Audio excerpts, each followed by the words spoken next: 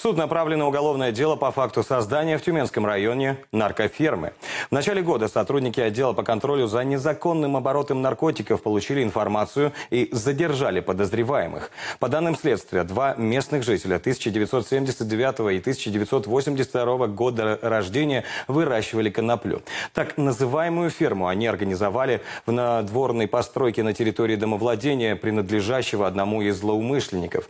Фигуранты оборудовали помещение специальной техникой, использовали удобрения и работали над увеличением урожайности.